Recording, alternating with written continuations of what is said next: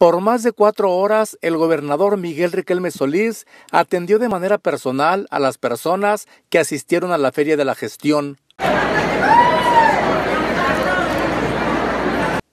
Este sábado, 66 dependencias federales, estatales y municipales realizaron el evento en las instalaciones de resguardo gubernamental localizadas en el arremiento Oscar Flores Tapia, donde cada secretario, delegado y director, por instrucciones del gobernador, atendieron a las más de 400 personas asistentes.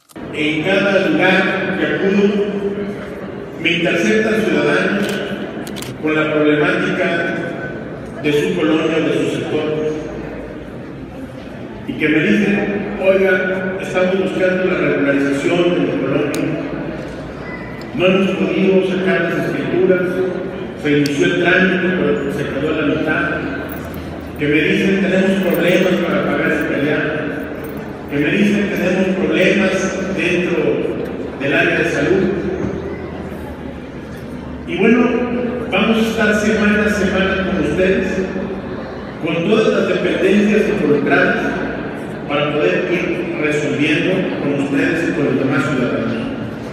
Vamos incluso a ir directo a los sectores donde existe una problemática específica en la Feria de la Gestión se ofrecieron consultas médicas, acceso a bolsas de trabajo, se tramitaron actas de nacimiento, de afiliación al Seguro Popular, se ofrecieron servicios educativos y de capacitación.